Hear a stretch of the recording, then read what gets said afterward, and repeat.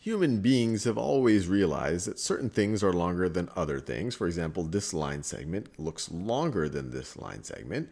But that's not so satisfying just to make that comparison. You want to be able to measure it. You want to be able to quantify how much longer the second one is than the first one. And how do we go about doing that? Well, we define a unit length. We define a unit length. So if we make this our unit length, so we say this is one unit, then we could say how many of those lengths are each of these lines. So this first line looks like it is, we can do one of those units and then we can do it again. So it looks like this is two units. While this third one looks like we can get, let's see, that's one, two, three of the units. So this is three of the units. And right here, I'm just saying units. Sometimes we've, we've made conventions to define a centimeter where the unit might look something like this and it's going to look different depending on your screen. Or we might have an inch that looks something like this. Or we have might have a foot that I won't be able to fit on this on this screen based on how big I've just drawn the inch or a meter. So there's different units that you could use to measure in terms of. But now let's think about more dimensions. This is literally a one-dimensional case. This is 1D. Why is it one dimension? Well, I'm, i can only measure, measure I can only measure length. But now let's go to a 2D case. Let's go to two dimensions where objects could have a, a, a length and a width or a width and a height. So let's imagine two figures here that look like this. So let's say this is one of them. This is one of them. And notice it has a width and it has a height, or you could view it as a length and a, or you could view it as a width and a length, depending how you want to view it. So let's say this is one figure right over here, and let's say this is the other one. So this is the other one right over here. Try to draw them reasonably well. Now, once again, now we're in two dimensions, and we want to say, well, how much, how much in two dimensions space is this taking up? Or how much area are each of these two taking up? Well, once again, we could just make a comparison. This second, if we view them as carpets or rectangles, the second rectangle is taking up more of my screen than this first one, but I want to be able to measure it. So how would we measure it? Well, once again, we would define a unit square. Instead of just a unit length, we now have two dimensions. We have to define a unit square. And so we might make our unit square and the unit square we will define as being a square where its width and its height are both equal to the unit length.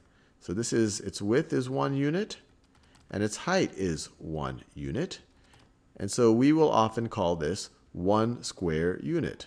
Oftentimes you'll say this is one unit and you put this 2 up here, this literally means one unit squared.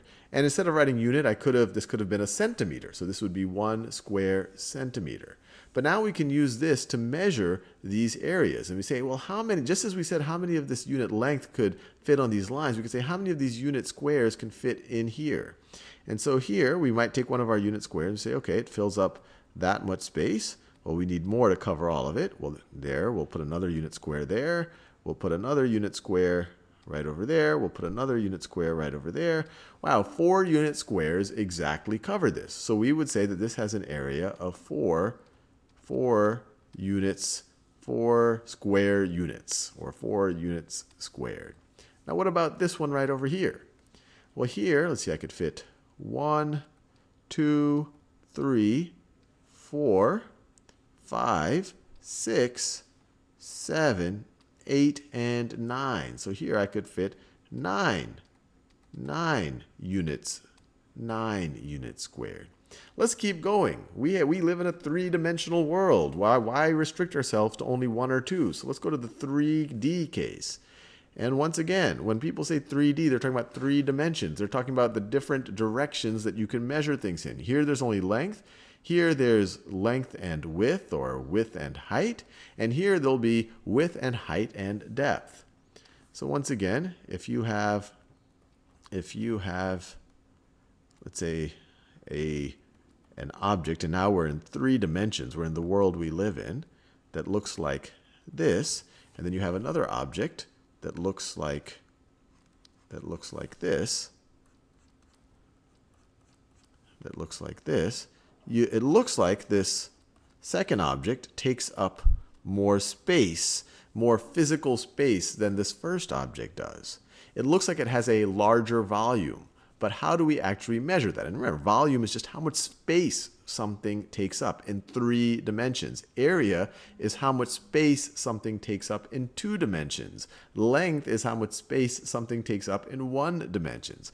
But when we think about space, we're normally thinking about three dimensions. So how much space would you take up, up take up in the world that we live in? So just like we did before, we can define instead of a unit length or a unit area, we can define a unit volume or a unit cube. So let's do that. Let's define our unit cube. And here, it's a cube, so all of its, its length, width, and height are going to be the same value. So my best attempt at drawing a cube.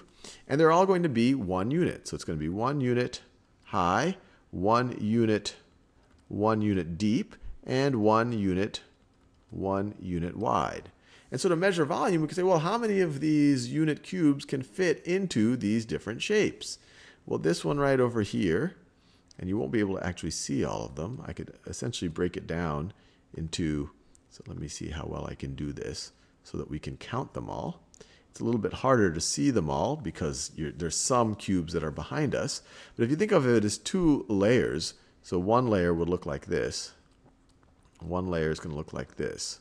So imagine two things like this stacked on top of each other. So this one's going to have one, two, three, four cubes. Now this is going to have two of these stacked on top of each other. So here you have eight unit cubes, or you could have eight units cubed volume. What about here? Well, if we try to fit it all in, if we try to fit it all in, let me see how well I can draw this. How well I can draw this. It's going to look something like this. It's going to look something like this. Obviously, this is kind of a rough drawing. And so if we were to try to take this apart, you'd essentially have three, you'd have a stack of three sections that would each look something like this. My best attempt at drawing it. Three sections that would look look something like what I'm about to draw. So it would look like this. So three, if you took three of these and stacked them on top of each other, you would get this right over here. And each of these have one, two, three, four, five, six, seven, eight, nine cubes in it. Nine times three, you're going to have 27, 27 cubic units in this one right over here. So hopefully that helps us think a little bit about how we measure things, especially how we measure different th things in different number of dimensions, especially in three dimensions when we call it volume.